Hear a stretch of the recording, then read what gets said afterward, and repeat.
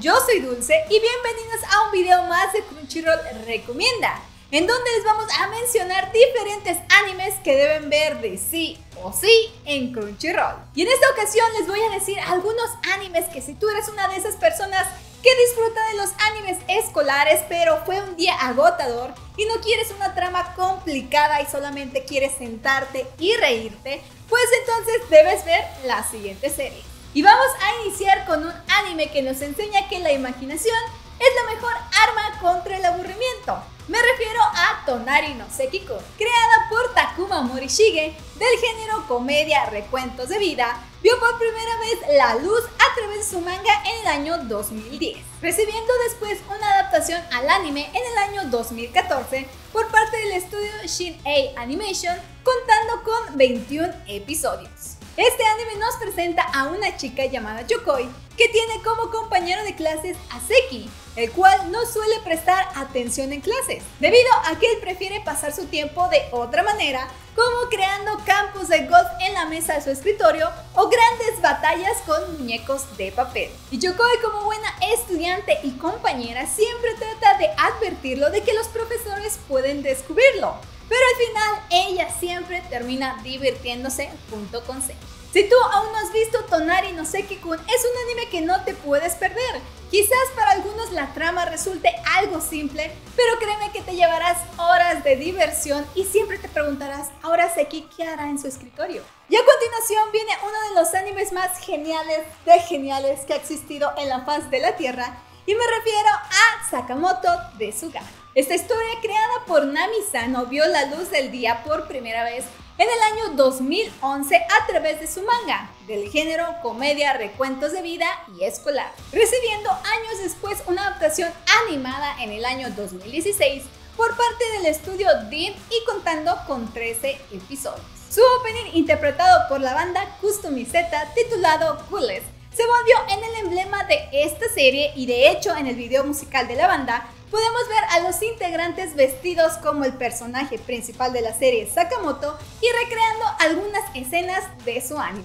Y es aquí donde conocemos al genial Sakamoto, el cual es el chico perfecto ya que le va muy bien en la escuela, es amable con las personas, es popular entre chicos y chicas, es más, es lo que toda persona quisiera ser en esta vida. Y como en todo, hay personas que envidian a aquellas a las que les va bien y que no descansarán hasta ver a nuestro protagonista derrotado o humillado. Pero a pesar de todas estas trampas, Sakamoto saldrá triunfador e incluso se verá más genial haciéndolo. Sakamoto de Suga es una serie que amarás por su comedia absurda y que te mantendrá al pendiente porque querrás descubrir cómo Sakamoto saldrá invicto de los problemas.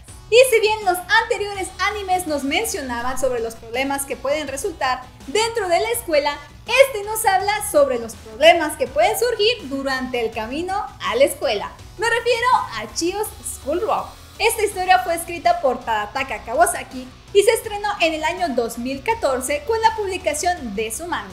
Y en el año 2018 tuvo un anime por parte del estudio Diomedea con un total de 12 episodios. ¿Alguna vez te imaginaste las cosas que pueden salir mal de camino a la escuela? Pues este anime es exactamente eso, pero multiplicado por 10. Aquí es donde conocemos a Chio, una estudiante que nunca se permite llegar tarde a clases y está dispuesta a superar todos los obstáculos para lograrlo. Entre esconderse en la basura y enfrentar a algunos delincuentes serán algunos de los problemas que deberá superar para llegar a tiempo a su clase. Este anime quizás pasó un poquito desapercibido en su época de lanzamiento, pero te aseguro que eso no significa y no te van a quitar las horas de diversión y de risa que vas a tener con este título.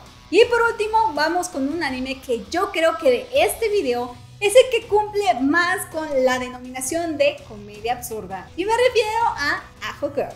Creada por Hiroyuki, es el género comedia, recuentos de vida y escolar por primera vez se publicó su manga en el año 2012. En el año 2017 tuvo un anime por parte del estudio Diomedea con un total de 12 episodios, en donde nos presentan a Yoshiko, una chica que realmente, en serio, en serio, realmente ama las bananas o plátanos como lo conozcan en su país y que tiene una característica muy, muy peculiar. Y esa es que es extremadamente tonta.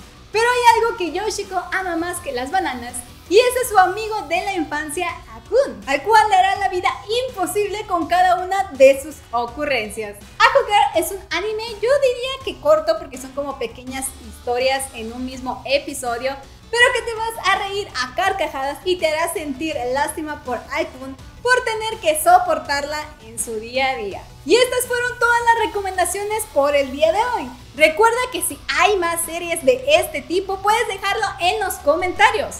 También en los comentarios y en la caja de descripción te vamos a dejar los enlaces a cada una de las series que mencionamos en este video. Yo soy Dulce y nos vemos en otro video más de Crunchyroll Recomienda. Bye bye.